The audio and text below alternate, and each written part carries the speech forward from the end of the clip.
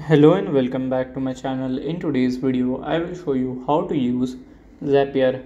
So let's get started. So Zapier is a website for your automation of your uh, like APIs. So let's get started. So basically, first of all, you have to open your Google and search for your Zapier. Okay. So open your Zapier.